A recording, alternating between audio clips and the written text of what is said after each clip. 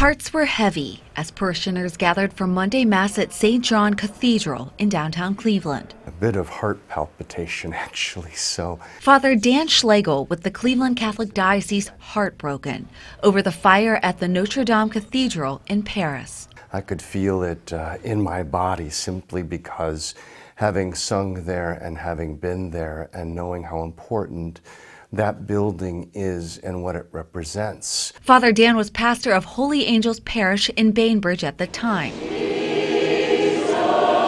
and says it was an honor to sing a concert there in 2009. I remember walking through and just being just mesmerized by the space itself, the beauty of the stained glass, uh, the uniqueness of the Gothic architecture. Firefighters rushed to put out the massive fire, and by late Monday night, the fire had weakened and the cathedral's two towers were safe. The most precious artworks have been sheltered, but our second concern is that the fire threatens the northern tower.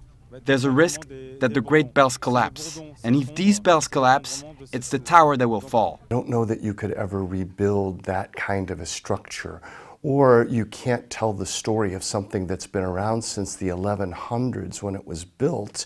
Imagine the millions and millions of people who have come there to pray, who told God their story in that building. The worst avoided, but the damage already done.